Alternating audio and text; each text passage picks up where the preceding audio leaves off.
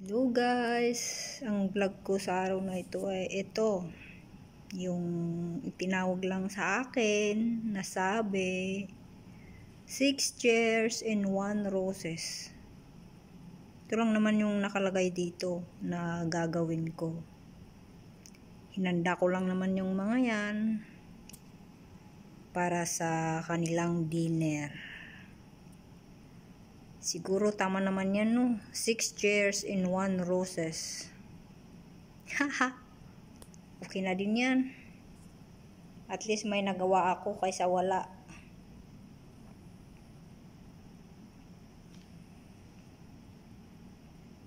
Hirap naman kasi ang housekeeping eh. Tatanggap ka lang ng tawag, pupunta ka sa ganito, sa ganyan, gagawin mo to, ganito, di ba?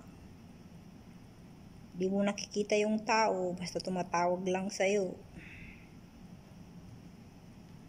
Tapos yung bayad mo, ilalapag lang sa lamesa, no? Saklap.